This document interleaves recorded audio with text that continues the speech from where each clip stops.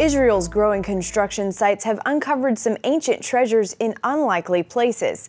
CBN correspondent Julie Stahl shows us what archaeologists are finding. Here in Israel's central plains, a building boom dots the skyline with cranes in places like Rosh Ha-Ayin. Before any work commences, the Israel Antiquities Authority conducts what it calls a salvage excavation.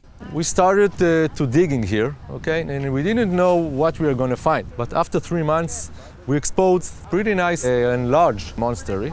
The discovery of many impressive rural churches and monasteries in the area show that Christianity spread rapidly around the 5th century. Excavation director Amit Shadman says the Byzantine church is paved with a colorful mosaic. One of the most important finds is the Greek inscription at the entrance. It's exactly the same like, like today, you know. Yes. People want to know that they gave the money, and you have to understand that it's very expensive to build a complex like this. The inscription says, This place was built under Theodosius the priest. Peace be with you when you come, peace be with you when you go. Amen. That's the ancient equivalent of a modern day donor's plaque today. Up to 30 monks would have lived on the compound, and Shadman believes they were also farmers.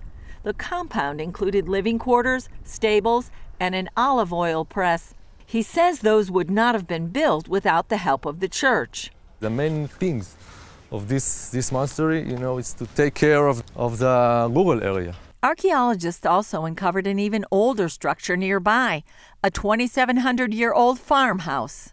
This area, from the beginning, was used for, for farming okay, and for agriculture. Sometimes archaeologists must move the antiquities, and they often rebury them. But this ancient Byzantine monastery and farmstead are slated to become part of a park. I can tell you that this site, we're not going to destroy it, you know, and we will plan to keep it and uh, leave it like a, a green area. Julie Stahl, CBN News, Rosh Ha-Ayin, Israel.